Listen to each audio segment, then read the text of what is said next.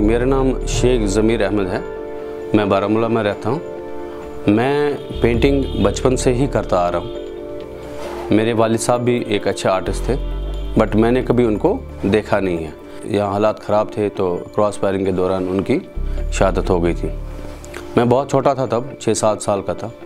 तो लाइफ में जो है, इंसान को बहुत स्ट्रगल करनी पड़ती है उसके बाद। जब आपके वाले साहब नहीं रहते हैं तो आपको बहुत स्ट्रगल करनी पड़ती है।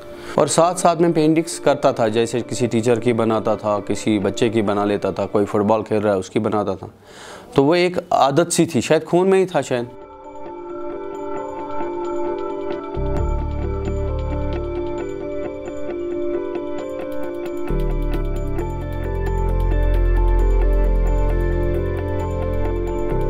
एक दिन ऐसे ही जम्मू में निकला था पेंटिंग कंपटीशन का। ऑल इंडिया के आर्टिस्ट आए हुए थे, एक सौ आठ आर्टिस्ट करीबन आए हुए थे। तो सबकी एग्जीबिशन हुई थी वहाँ पर पेंटिंग्स की। तो मेरी भी दो थे। तो फिर जब अनाउंसमेंट हो गया फ़र्स्ट प्राइज़ या विनर कौन है इसमें? तो मेरी पेंटिंग को दिया गया एंड ऑफ़ द डे और सेकेंड जो था, वो भी मेरी ही थी द रियल लाइफ फिर मुझे लगा कि मैं असल में आर्टिस्ट ही हूँ।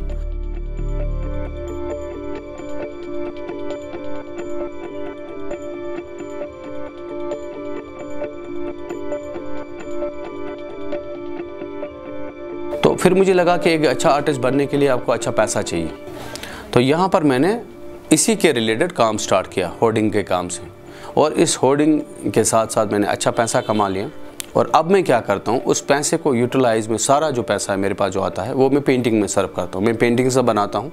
और फिर उसके बाद रिसेंटली मैं 2019 में मैं चला गया था दुबई एग्जीबिशन के लिए। तो वहाँ मैंने पाँच पेंटिंग्स भेजी थी at the rate of two lakh rupees पर पेंटिंग जो मैंने ब्रोकर को दी थी।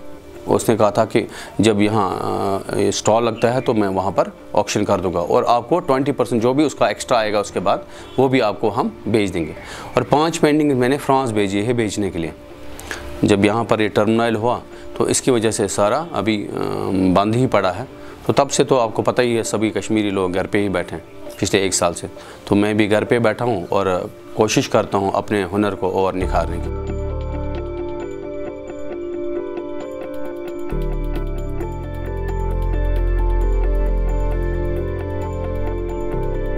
कश्मीर में अभी वैसे लोग नहीं हैं कि हम एग्ज़िबिशन यहाँ करें, या मेरे सोच के लोग होंगे जो इस चीज़ को महसूस कर सकते हैं फील कर सकते हैं। क्योंकि यहाँ स्ट्रगल बहुत है अभी। अभी लोगों को खाने के लाले पड़े हैं तो ये पेंटिंग में कहाँ जाएँगे बेचारे? तो इसके लिए एक विजन चाहिए, एक फ्रीडम चाहिए उस चीज़। आर्ट देखने के लिए एक फ्रीडम चाहिए।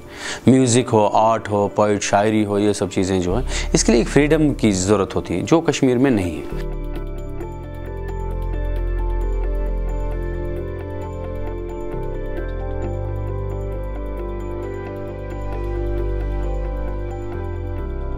यहाँ मैंने सिर्फ़ डिस्ट्रक्शन देखा। हर जगह से मार, काट, वो मर रह गया न्यूज़पेपर पढ़ता था। उस चीज़ ने मेरे दिमाग पे बहुत असर डाला और यहाँ पर जो पेंटिंग्स में बनाता था, उसमें सिर्फ़ सफ़र है।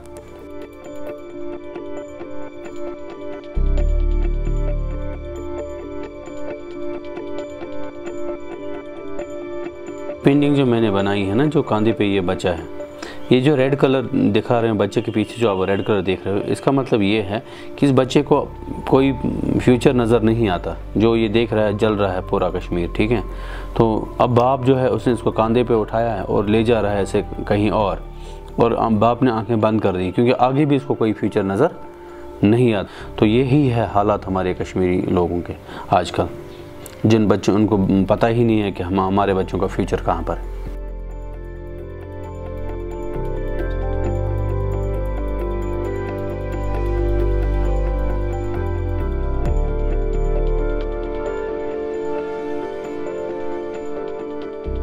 मुझे लगता है अभी तो आग निकली ही नहीं है।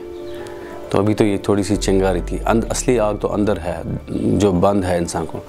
क्योंकि यहाँ पर क्या है कि आप एक हदबंदी में रहते हैं। तो जिस दिन यहाँ फ्रीडम जैसे जैसे हालात होंगे, सब खुश रहेंगे, तब शायद मैं ज़्यादा एक्सप्रेस कर पाऊँगा। जिस दिन हदबंदी नहीं रहेगी तो उस दिन शायद क्रिएटिविटी ज़्यादा उभर के आएगी।